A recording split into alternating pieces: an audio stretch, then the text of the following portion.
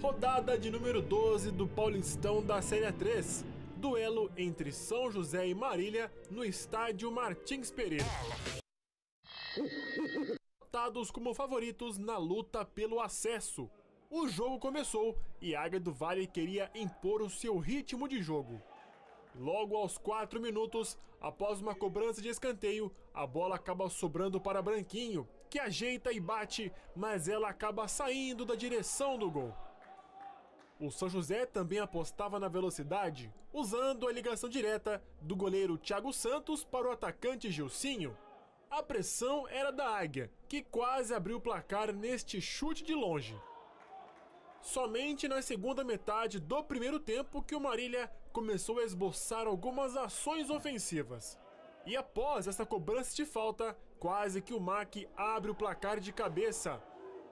Mas o São José também atacava e após esse lance confuso dentro da área, a bola bate na mão do zagueiro do Marília. Pênalti! Nada disso, juizão manda o jogo seguir.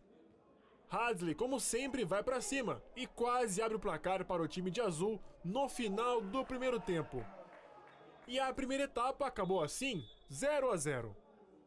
Apesar de ser uma noite de segunda-feira gelada, o jogo dentro de campo começava a esquentar. O São José teve as melhores oportunidades na primeira etapa. E no segundo tempo, o jogo parece que ganhou um temperinho a mais. O clima lá dentro esquentou bastante.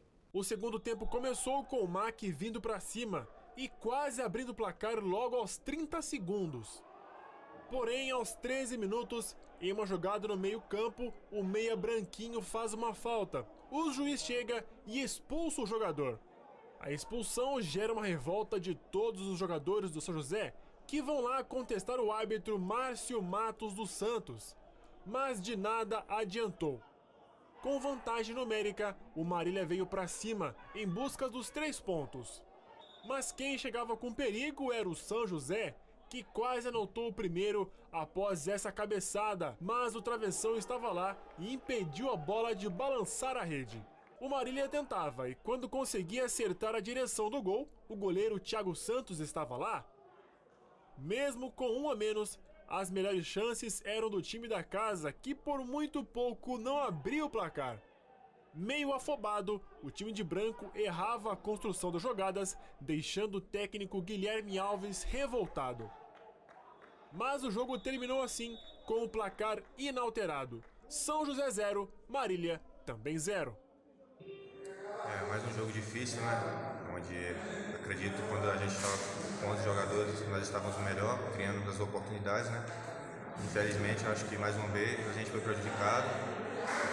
Nosso jogador matou a jogada para mim normal, no meio campo, onde era um cartão amarelo, ele deu vermelho direto, acabou prejudicando nossa equipe mais uma vez.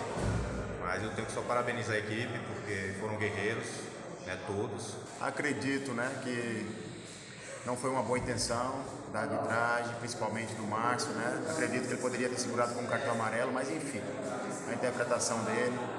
É, mas nós pontuamos, e isso foi importante. Nós soubemos sofrer, seguramos, né? E tivemos chance ainda de matar em contra-ataques. Mas faz parte, somamos agora para a próxima partida buscar a vitória fora de casa.